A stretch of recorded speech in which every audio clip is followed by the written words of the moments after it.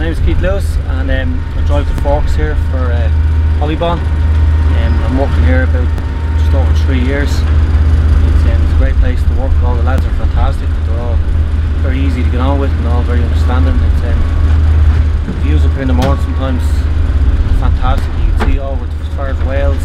Uh, well I come in for 7 o'clock and I open up all the houses for the lads that come in for half 7 and I'd finish up about 5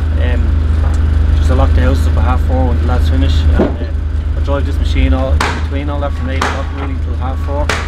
Uh, just lift stuff up for plasterers, bricklayers, carpenters, whatever has to be lifted and moved. I do it. So I'm not stuck in the one spot all the time. I'm constantly moving. I'm constantly going. Um, everybody needs something moved, so I'm always busy. So it's good. Day goes quick enough.